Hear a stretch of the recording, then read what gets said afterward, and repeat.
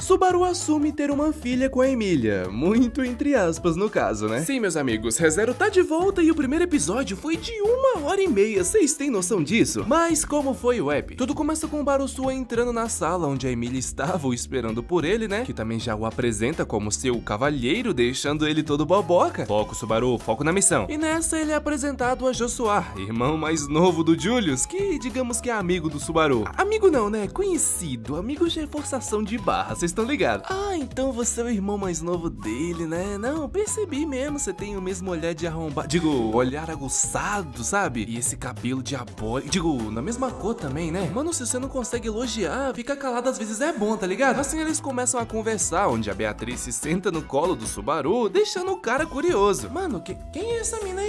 Ah, essa aqui é a Beatriz, a adorável filha da Emília e minha também, tá ligado? Não começa, Subaru, a gente ainda nem fez nada de errado. Uh, ah, ainda? Ah, ainda?